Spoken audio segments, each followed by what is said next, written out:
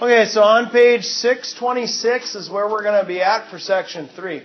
And this is the formula that we're going to deal with today. It's the circle. Okay? Now, the nice thing about what we're doing for you for this particular piece is that you are not having a center other than 0, 0 today. Much like yesterday, what was the vertex every time? That's an R, right? Okay, the vertex was 0, 0 yesterday for the parabola, right? Today, the center of the circle is also going to be 0, 0. So what does the R stand for, do you think, in circles? Radius. Radius. Good. Now, what most people do when we're doing with this particular part, you don't write the squared right. You know what happens to a lot of people is that when I tell them that the radius was 5, they tell me the answer then would have been 10. What did they do wrong? They times it by 2 instead of taking 5 times 5. Okay? Does that make sense? Now, what you're going to be doing is they're going to be asking you to graph a circle, which I'll show you. They're pretty they're pretty easy to do. And just like the parabolas were yesterday, didn't you find that those were a lot easier than the ones we've done in the past? Yeah. Okay?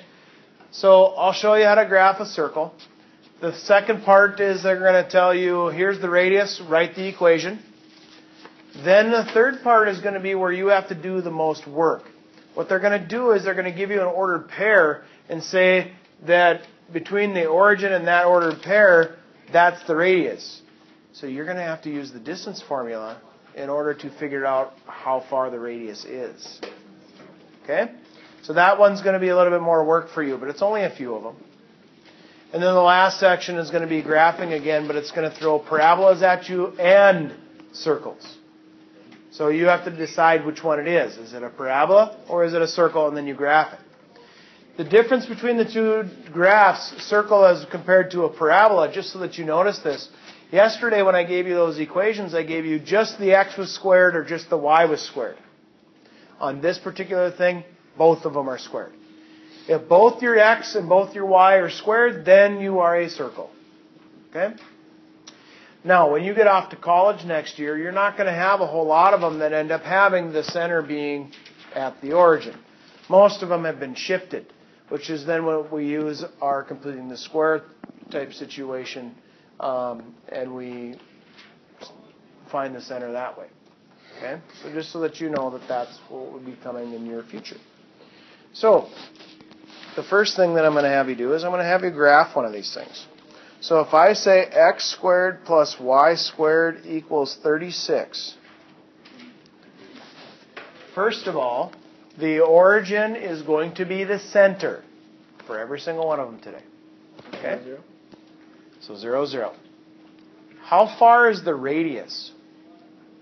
36. No, 6. 6.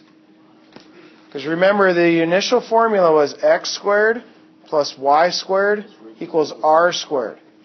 So what I would have to do is I would have to take this, have r squared equals 36, and then square root it. Now keep this in mind because you guys have done this already this year.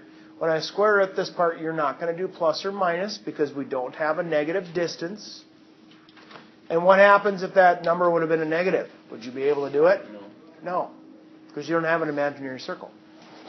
So, when you square root that number, you will get 6. A lot of times, they will be nice whole numbers for you. I would say probably 80 to 90% of the time, it will be whole numbers for you today. Okay? So, here's how you graph this.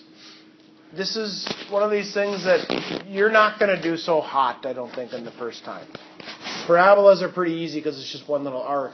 But circles are a little bit harder. Your circles won't look circular.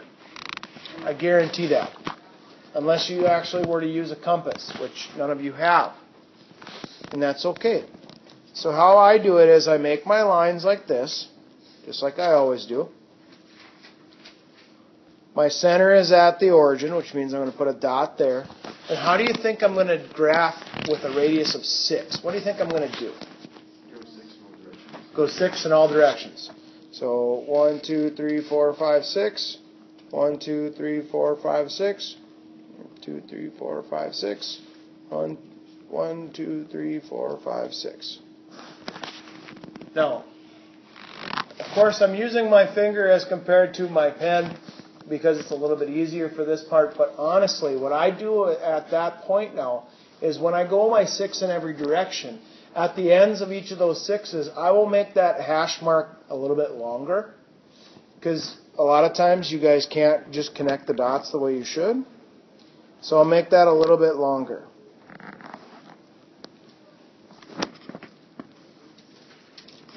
Okay? It almost looks like, um, huh? Almost looks like a square, but not quite, because I'm going to round off everything here. All right? What that is is just kind of a baseline for me to actually just kind of go and make this curve in here like so. Make that curve in here like so. Make that curve in here like so. And like so. A squarish circle. So it's kind of a squarish circle, but honestly, if I had you just draw the circle on your own, you probably wouldn't hit it very well. You know what I've seen in the past? This is what I've mainly seen. If that was supposed to go six in every direction and they go six, six, six, six, and it's a lot of times it's like this, and they say that's a circle. Okay? So just so you know, that's why I made those hash marks there and I rounded off a little bit more. So it is kind of a square circle as you called it, but it helps make it more circular shaped. Circle. Some of you may be able to draw the circle perfectly. That's great. But I know some most of you won't be able to. What do you think for drawing them? Are you guys okay with that? Yeah. Again, they don't get much harder just because of the fact that we're never using anything else other than 0, 0 as the center. It's all 0, 0 today. Okay? Then, after that, the next part that they're going to have you doing is it's going to say, write the standard form of the equation of the circle with the given radius whose center is the origin. So, um, Markel, give me a number. 8. So it's going to say r equals 8. And you are asked to write the equation. So here's what it is. The general form, remember, is x squared plus y squared equals r squared. But Markel just told me that his r he wanted to use was 8. What's 8 squared? So my final answer is x squared plus y squared equals 64. Done. Okay?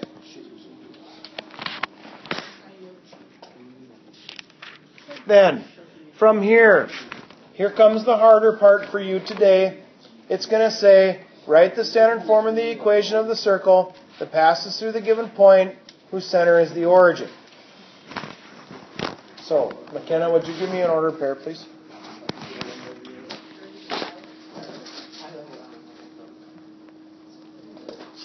And I know that it goes to here. Here's what I need to know from you guys.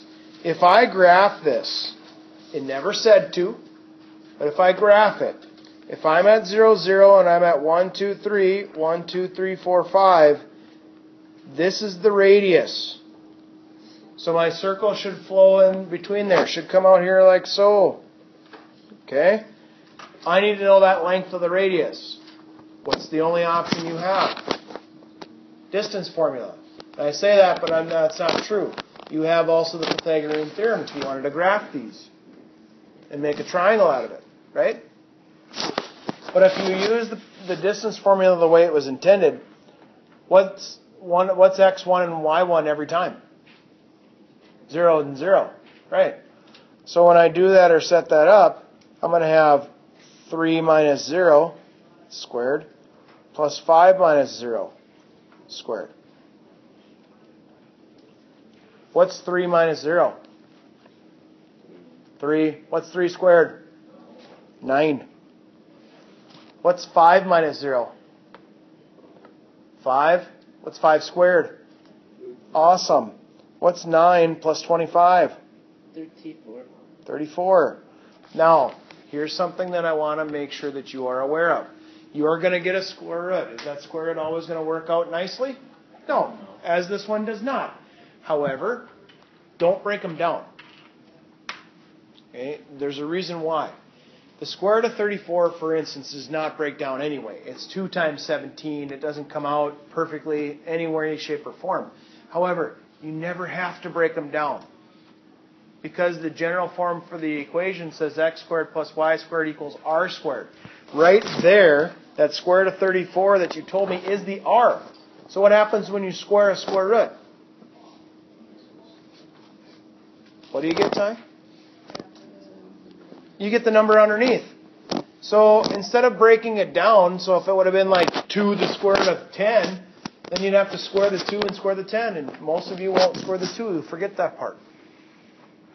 So you'll never have to break these down, because when you square this thing right here, the square root of 34 squared is just 34. So what's my answer? x squared plus y squared equals 34.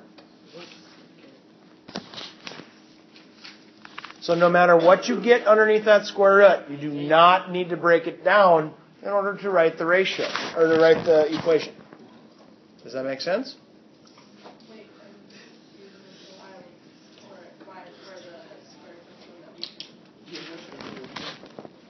X squared plus y squared equals r squared. And the the square root of 34 itself, Alyssa, that we had on there, that is the r. So therefore, when you square it, the square and the square root cancel each other out, so you just get the inside material. That makes sense? Okay. Then the last section that they have you doing, it says equations of both circles and parabolas are given. Graph the equation. So it's going to give you a mixture of them. It's not that you have to graph them all at the same time. It's just whatever one they have. So if it has both squared, it's a circle. If one of them is squared, then it's a parabola, and we do what we did yesterday. Does that make sense? Do you guys want me to graph again? One more. No. No? Do you want me to come up with another one like that? Wait, so on those problems, the answer is x squared plus y squared equals X squared plus y squared equals 34. That would be your answer. Do you want me to do another one like this? Now we did. We have one. to do the graph of it. No, you don't. I'm just showing you that that's what it would have looked like. Okay? All right then. So on page 629 to 630, 12 to 52, all opposed to 4.